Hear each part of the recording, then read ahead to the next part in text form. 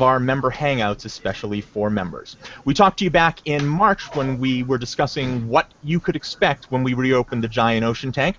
Now we're going to have the opportunity to show you some of those things that we were talking about before. I'll introduce our guest to you in just one second, but first I want to show you a little something that I have here. So this is a piece of the coral sculpture. Let's see if I can get it without any reflection that was removed from the giant ocean tank last year when we started construction. This was uh, has most likely been there since 1985, the last big renovation. And this could be yours, but to win it, you're going to need to stick around with us. We'll tell you a little bit more about this as we get to the end of our hangout. I do want to introduce you to our guests. Billy Spitzer is the Vice President of Programs, Exhibits, and Planning for the New England Aquarium. Hey, Billy, how you doing today? Good, doing great. Hi, everybody. And in our other window there, we have Chris Bauernfeind, who is a senior aquarist and one of the guys who's probably waving at you from the other side of the glass when you when you visit the aquarium. Uh, Chris is one of our divers as well. So, Chris, thanks for being with us. My pleasure. Thanks. So before we get into things, I do want to let members know if you look down at the bottom of the screen that you're watching here, there's information about how you can ask questions. We will be answering your questions a little bit later on in this webcast. You can click the form to fill in, and that will send an email to us, which we will take a look at, and maybe we'll answer your question. You can also send your question live as a tweet. Just use the hashtag AskNEAQ, like New England Aquarium. Ask NEAQ. We will be looking at those questions as they come in, and we'll ask some to the guys a little bit later on. So before we start, let's um, take a look at all of this construction. We, we videotaped the entire project, but we're going to condense it for you a little bit. This is uh, 10 months in about 60 seconds.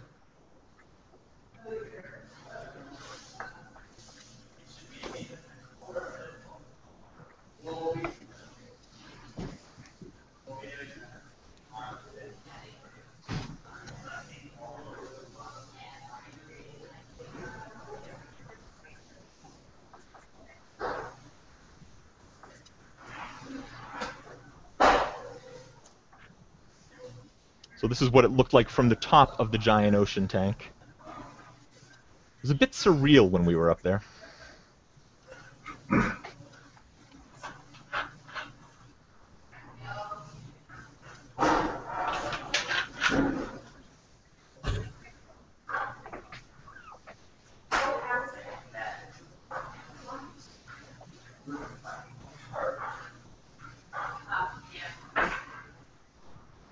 I love the part where it fills up.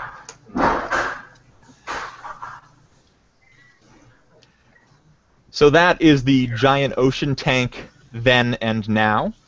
And we'll take a closer look at what the giant ocean tank looks like right now. So for those of you who may be members of the New England Aquarium but are not right here in New England and have not had a chance to visit since we reopened the GOT at the beginning of July, we hope to show you some of the things that you will see when you next come to visit. For those of you who have visited, and we know that there are a lot of you that are regular visitors here to the aquarium, we're going to show you some things that you may not have noticed, a little bit of a behind-the-scenes look at the aquarium. And I think we're going to start right here with this video that's rolling right now. This is the Blue Planet Action Center. Billy, can you tell us a little bit about a little bit about the BPAC, as we call it? Sure. Uh, well, when we were thinking about um, kind of re reinventing the aquarium experience, one of the things we realized is that um, we need to help visitors understand kind of right at the beginning of their uh, journey through the aquarium um, how the aquarium is really connected to what's happening out in the ocean. And the Blue Planet Action Center um, is really a place where you can learn about um, what are some of the issues going on in the ocean, um, how do they relate to the animals um, that you'll see at the aquarium, what are some of the things that the aquarium is involved in, research that we're doing out in the field, and so on, and uh, kind of how can, how can you get involved um, in helping to uh, protect the ocean? And we try to do that in a bunch of ways. Right now, you're looking at um, what, what, I kind of call uh, our big iPads. They're these um, large touch screens that allow you to um, explore these floating bubbles, each of which focuses on a particular animal. Um, learn some cool things about that animal, um, but also learn about what's happening to the, out, them out in the ocean and what we're doing uh, to help them out and what you can do to, uh, to help them out as well. Um, we also have uh, in that in the in the BPAC space um, a really great area for presentations by educators with live animals, with activities that help people understand their ecological footprint and uh, data around the globe in terms of uh, changes like overfishing and climate change.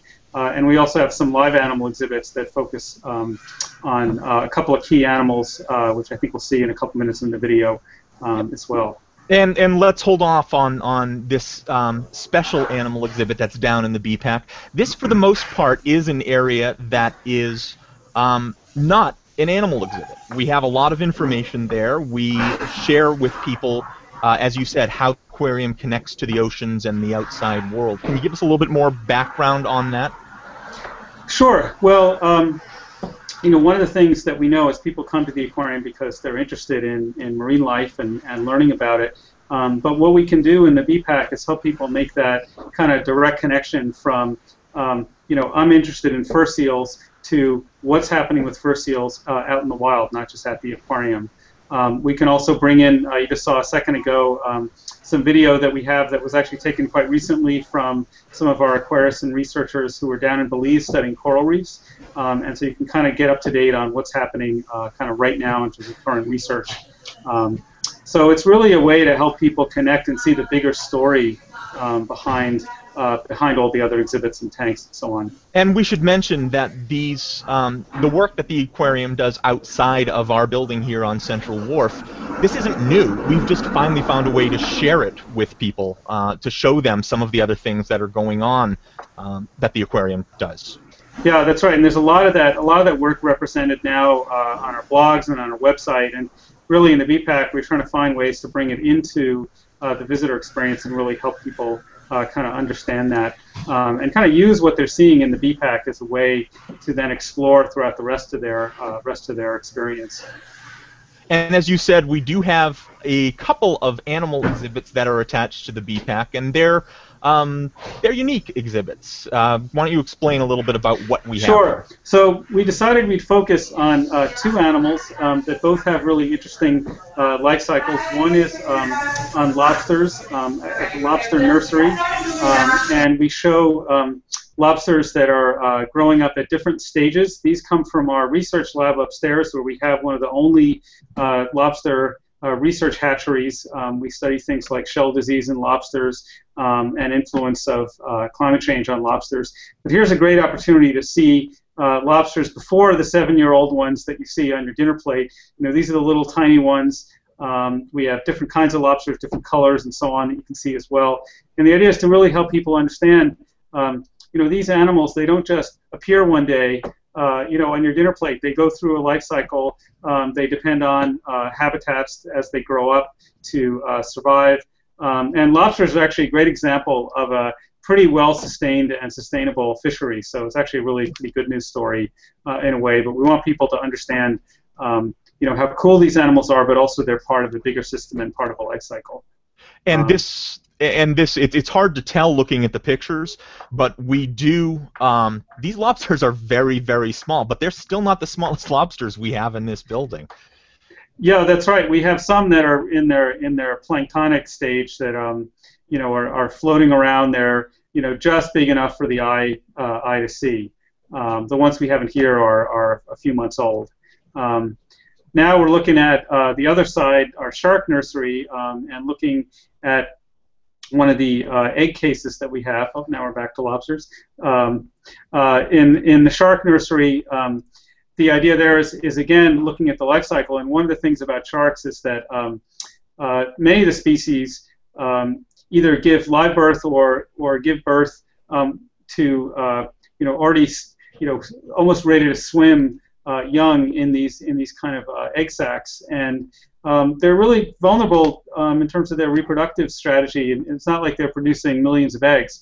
Um, so part of the goal behind this exhibit is to let people see these little embryonic sharks as they develop and some of the juvenile ones and understand that you know we think of sharks as big scary things um, when you see them in this exhibit, you realize they're actually pretty small, cute, and vulnerable. So that's that's a different way to look at sharks. And we should add, we, we will see some pictures of sharks and rays um, as part of this video that's showing right now. But again, it's hard to tell without seeing it. But these are sharks that, that could fit in my hand that we're looking at. Uh, obviously, with the egg cases, they're even smaller than that. But the sharks that we will see in the video, like that little ray there, um, could fit in the palm of my hand. And I like, you and I, Billy, um, talked about this last week. I like the fact that we now see the entire cycle for sharks and rays. That's so right. they start out in this nursery. What will happen when they get too big for the nursery? Well, yeah, we kind of have the whole life cycle going on in our shark ray touch tank. Um, we have sharks that are uh, giving birth and reproducing. Those babies make their way into this exhibit. When the babies grow up uh, to be big enough, they'll go back in the shark and ray touch tank. When they get too big for the shark and ray touch tank, many of them will go in our giant ocean tank, uh, or, or, in some cases to other other aquariums. So um, it's kind of a sustainable process, we hope, so we don't have to go out and collect collect them from the wild. This is an exhibit. It is um, a little bit dark down there because it needs to be a little bit dark down there. Um, but it, it is um, right after the BPAC for those of you who may be coming to the aquarium and wondering where you will find that. You know, let's go right from the, the lower level of the aquarium where you first enter. Let's go all the way up to the top to level 4, and we'll start talking about the giant ocean tank. And um, we do want to let people know the top of the giant ocean tank, which we for years have just referred to as the top of the giant ocean tank, has an official name now. It is the Yawkey Coral Reef Center. If you're from the Boston area, you certainly recognize the Yawkey name, and we thank the Yawkey Foundations for their help in making all of this possible. It is um, very, very different from what we used to have there the video you're looking at right now is the ceiling, um, and the lighting is a little bit different. Billy, can you touch on on? Um, it's not just the type of lighting that you throw the switch on or off, is it? Sure. Well, so now all our lights uh, are LED lights, which is which is great um, for a number of reasons. They're more energy efficient. Um, they produce less heat, so we don't have to. Uh, we're not dumping as much heat into the exhibit. Um, and what's really amazing is that not only is each of these light fixtures that you see controllable, but within each light fixture, there are, I don't know, maybe 100 different LED elements. And each one of those is individually programmable. So we can tune the uh, color, hue, brightness um, of each of these each of these lights. And one of the effects we were able to create is about every half an hour during the day, it looks as if clouds are passing over uh, the exhibit, just like they would be. And so you see kind of the shadow moving across the exhibit, which is created by uh, controlling all those individual lights. Um, these lights also enable us to do a lot more in terms of um, gradually turning on the lights during the day and gradually turning them off at night, which simulates more of what uh, these animals would see in the wild. And one thing we have, which is great for evenings, uh, for evening events, you know, member events and so on, is that we have this great kind of twilight lighting setting now where it's great for the animals because they're able to experience that lower light as kind of moving toward sleepy time, toward darkness, but great for people who are in the building because you can really see what's going on. It almost looks like kind of moonlight. Um, and if um, if you are in the building before we open at nine o'clock, you would see a simulated sunrise. The lights come exactly. up very gradually in the morning, and they go down at night.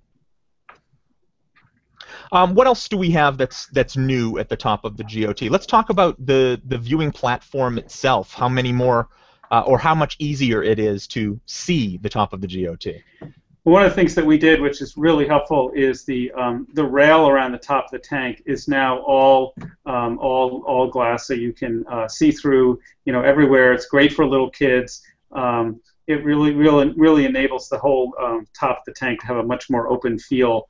Um, also, in addition to the um, platform we've had for many years for divers, which we've rebuilt, we added another platform, which is for um, for educators and presentations uh, and program activities. So um, it used to be that you know you hear an educator talking at the top of the tank, and you couldn't really figure out you know where are they, what are they talking about. Now you can really see them, um, and um, uh, I, I, can go, I can go into more about you know kind of how we're able to really show people what's in the tank um, in that we now not only can the educators talk about what's going on, but um, on these screens you see um, up at the top, there's you see one, you see the, the second one.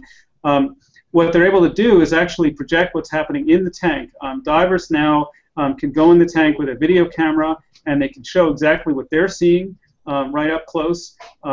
and also talk to the educators and communicate with visitors about what's happening. So there's a much better opportunity to not only you know kind of point out what you see from the top, what's happening at the surface, but what's happening underneath uh, as well. And I think that's a great point to bring Chris into the conversation.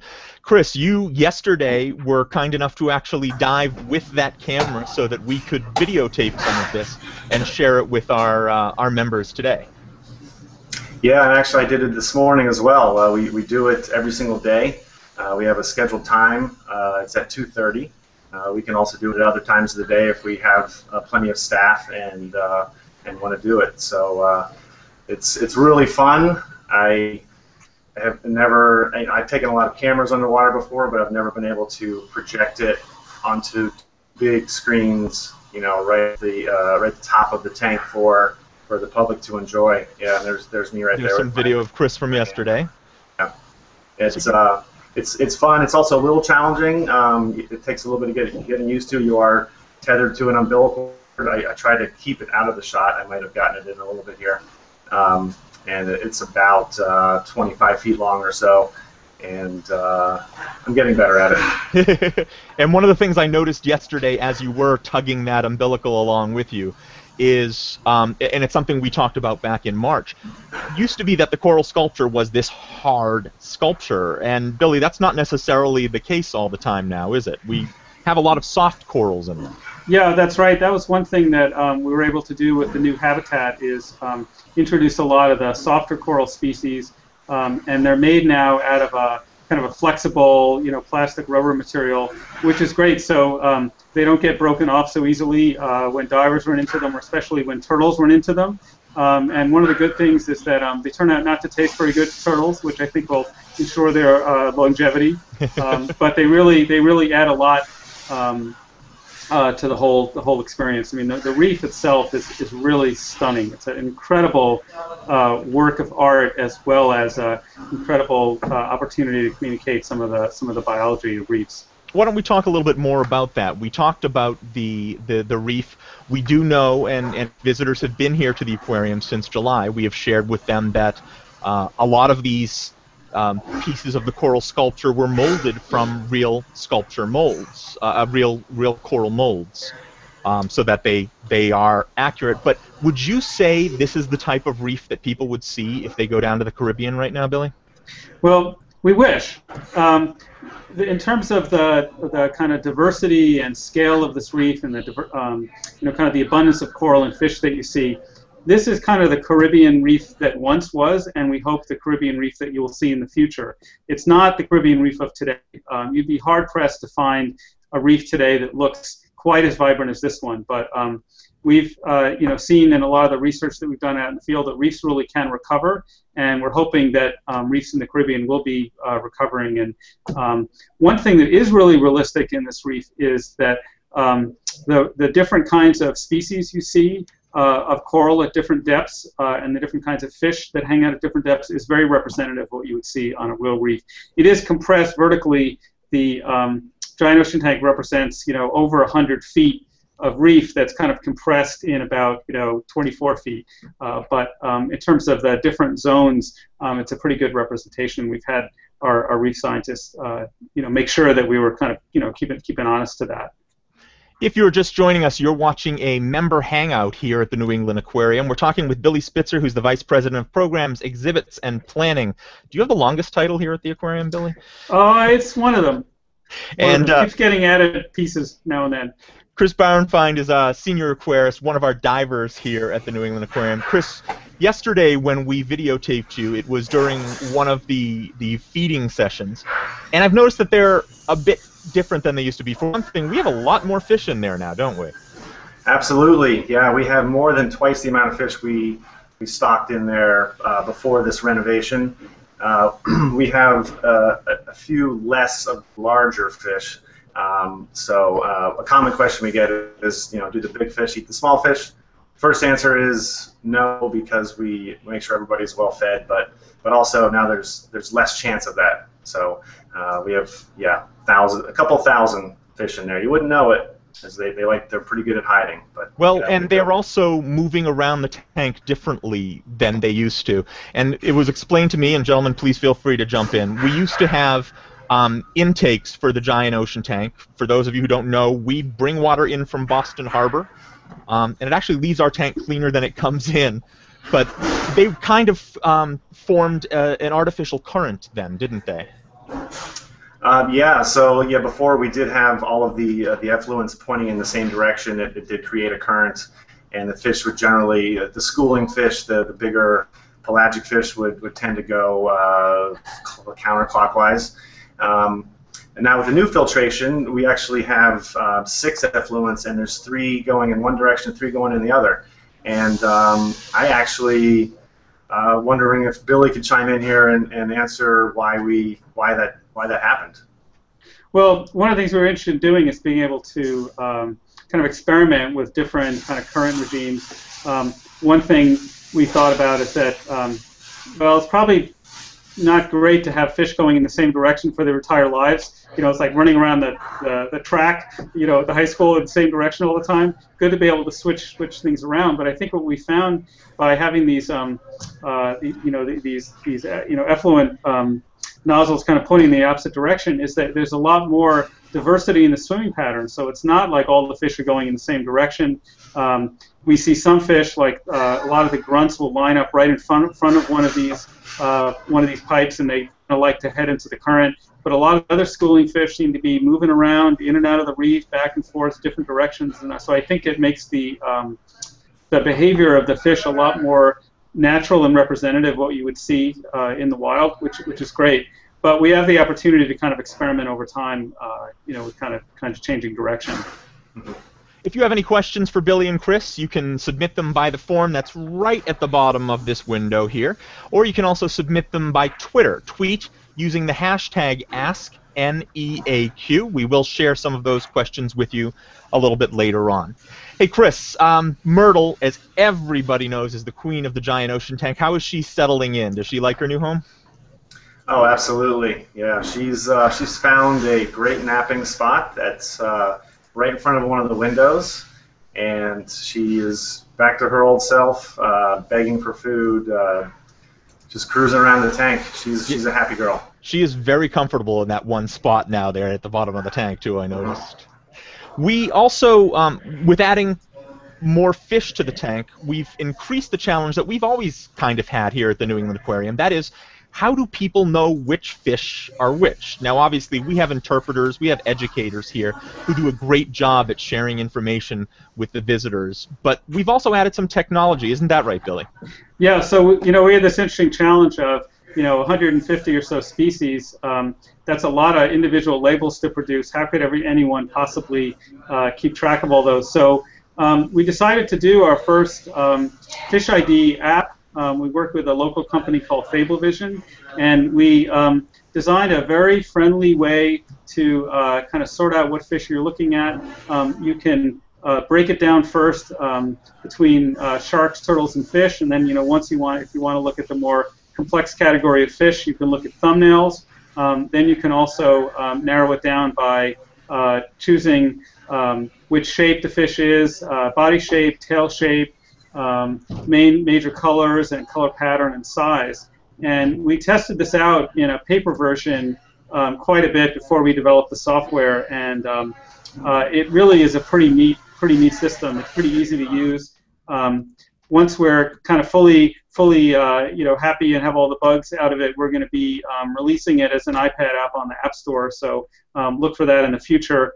Um, it's it's really pretty fun because one thing it does too is that um, as you select a fish um, uh, and and you know search for it, it tells you you know how many times that's been found, and actually over time the more popular fish migrate up to the top of the thumbnail list. So um, it makes it easier and easier um, uh, to find you know to find the fish you're looking at. So we started out with a number of these iPads, both at the top of the giant ocean tank and around the giant ocean tank. And when they were installed, they all pretty much work the exact same way, but because people identify fish at different points and fish are common in different areas, they now give you different lists of fish as you start identifying them. Yeah, it? they'll pop different ones up to the kind of the top of the list to make it a little easier for you. So one of the things we found that's that's really neat is that uh, uh, because of all the new habitat um, features, particularly a lot of the habitat that's up near the windows provides a lot of refuge for a lot of the small fish, and so they'll hang out more.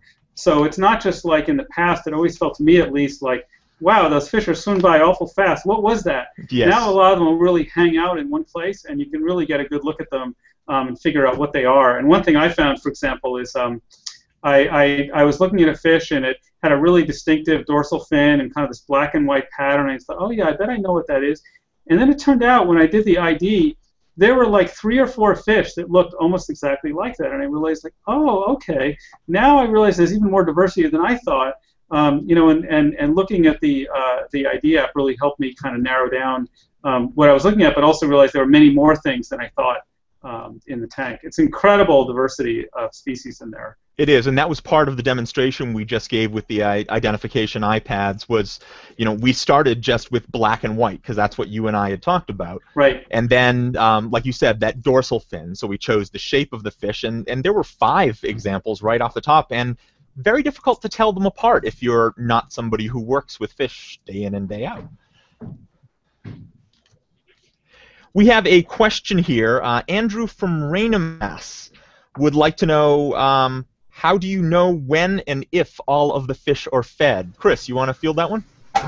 Oh, definitely. Um, how and when do we know if all the fish have been fed? Well, um, as we talked about earlier, there are a lot of fish in there, you know, a couple thousand. Um, so we obviously can't know for sure if every little fish has eaten, but we do our best. Uh, we do four feeding dives in the giant ocean tank every single day of the year, uh, including Christmas, Thanksgiving. You know, uh, every day of the year we're feeding. Um, and some of the some of the feeding is targeted towards some of the larger fish, um, as well as the sea turtles. Um, and we keep really detailed records of, of what they what they're eating, how their appetites are. Uh, the smaller fish, uh, we do our best just to broadcast as much little food around as we can, uh, like zooplankton and krill and uh, chopped up fish, and uh, yeah, we just do our best, and uh, we seem to be doing an okay job, I think.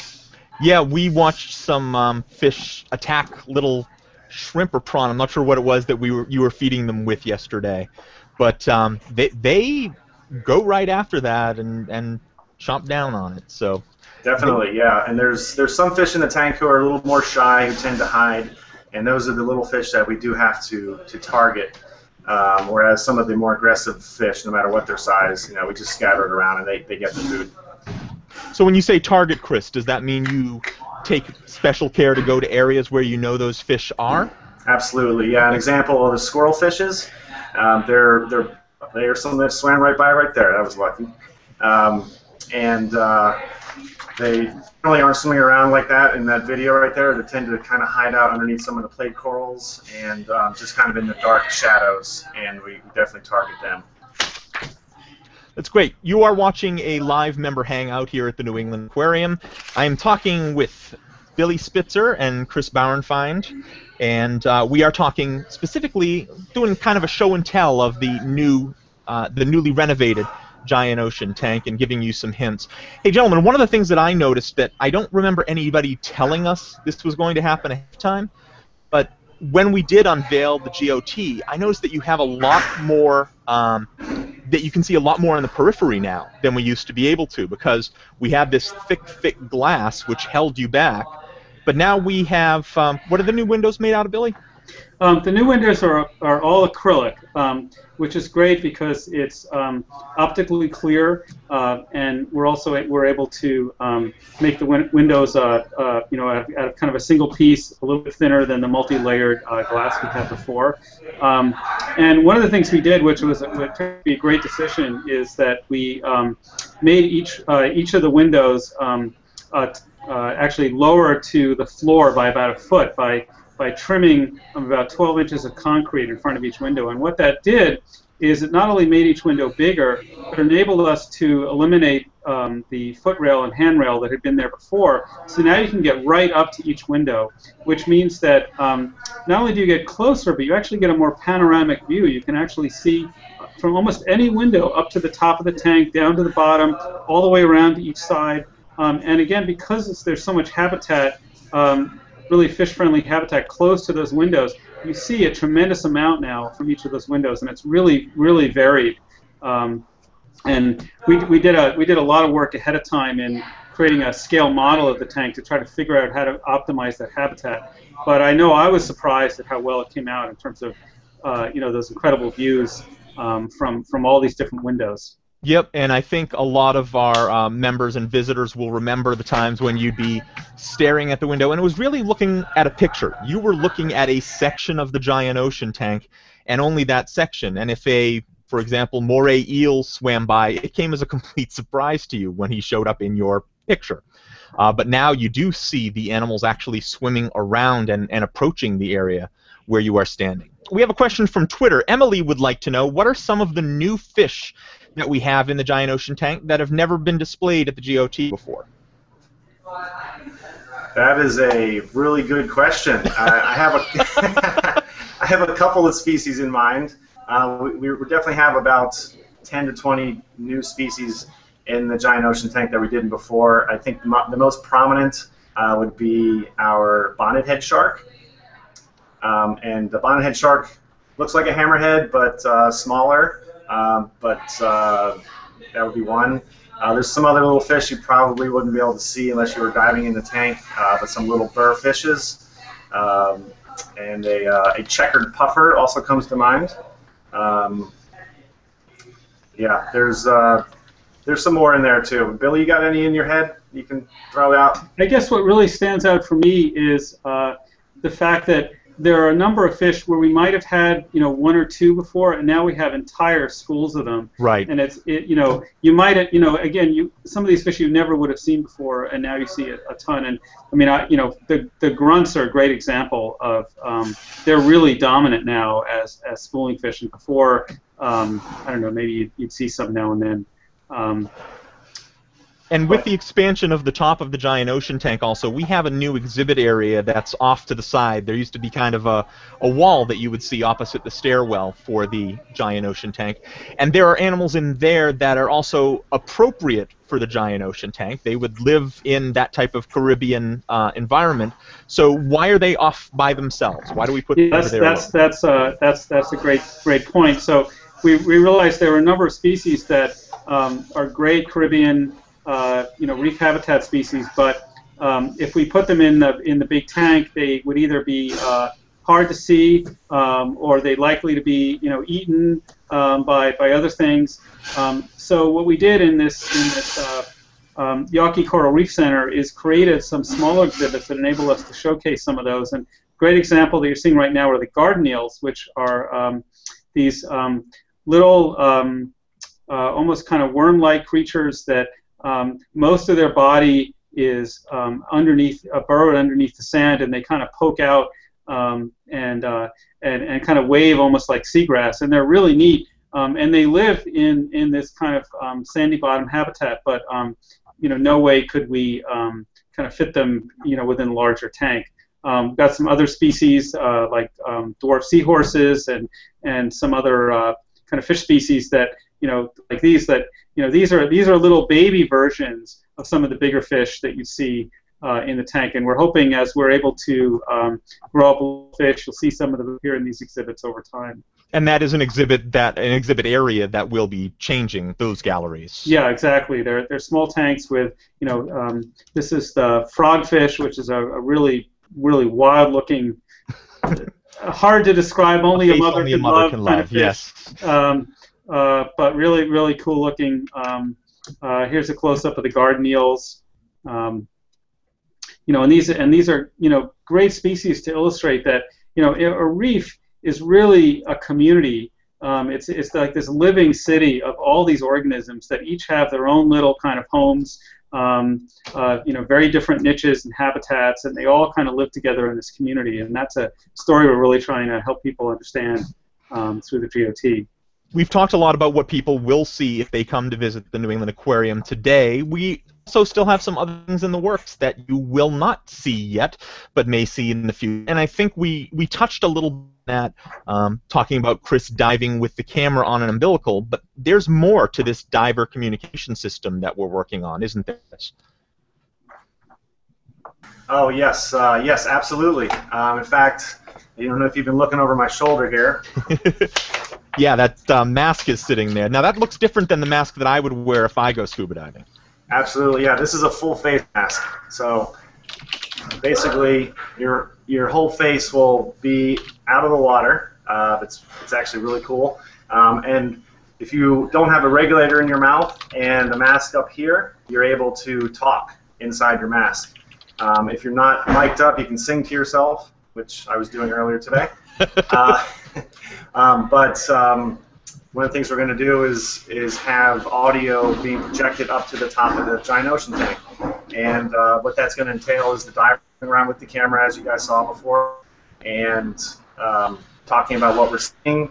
Uh, also, do have scheduled um, educators up there giving talks, and they do questions from the, uh, the public up at the top of the tank. And so those questions can actually get relayed right through this mask to us, and then we can answer them with our voice and this is a technology that we are still working on. We want to let folks know that we do.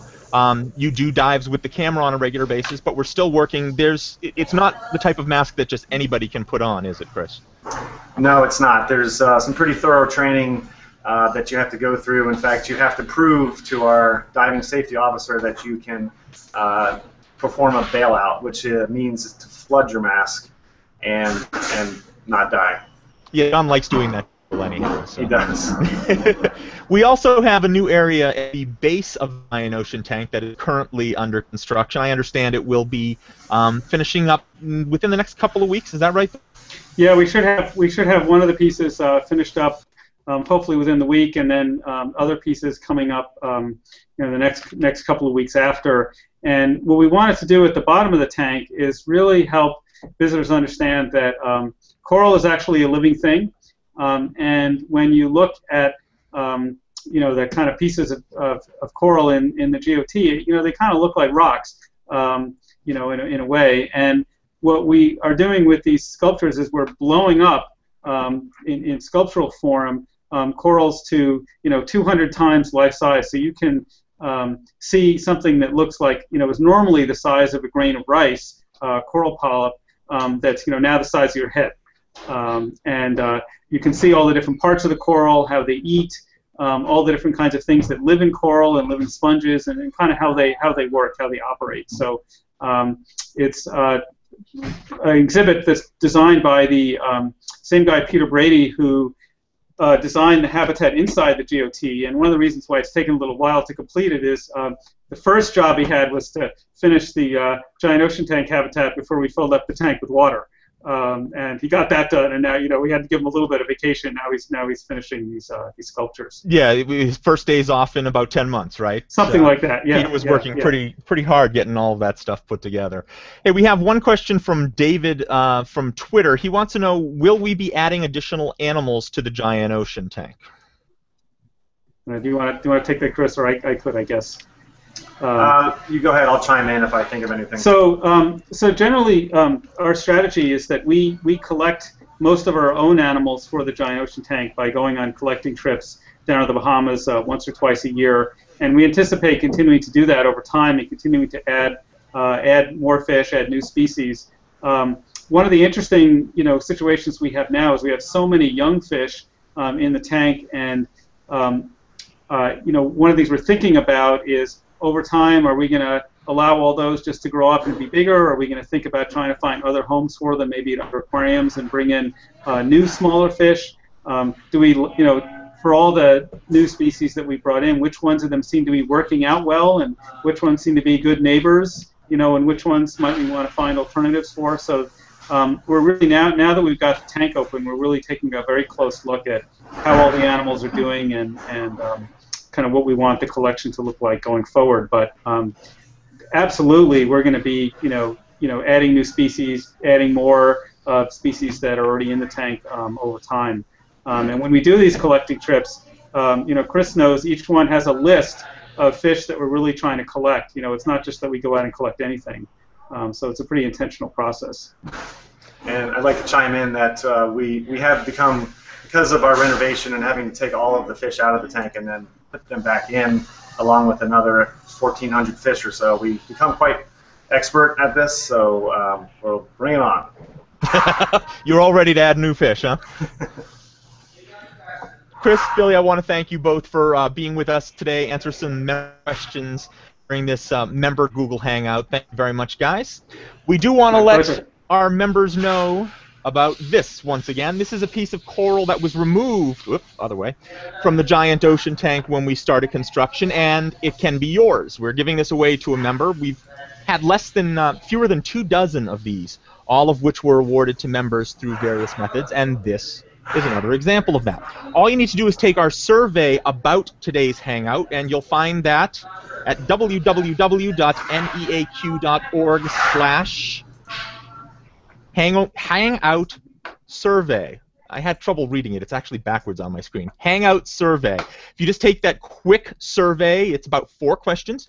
You'll fill in your member information, and we will um, draw on the name of a winner tomorrow. We'll post that on this same page, www.neaq.org slash member hangout and um, we will announce the winner there. Somebody will take this home. We also want to let you know that coming up, we have Fish Fun and Fright, our annual Halloween party, which will be taking place on October 25th. Tickets for that event go on sale on October 9th. So you want to uh, keep an eye out there. If you haven't received your pass, your um, uh, pardon me, postcard, for the event. You should be receiving it very soon. But again, tickets will go on sale on October 9th at noon. You can get those online, and we will have more information about the event posted very soon. Once again, I'd like to thank Billy and Chris for being with us. Also, thanks to Dan Manchin and Jeff Ives, who have been doing the technical end of things for us here. We hope you uh, enjoyed today's Hangout. Please give us your feedback, and uh, hopefully we'll do this again real soon. Thank you very much for being with us today.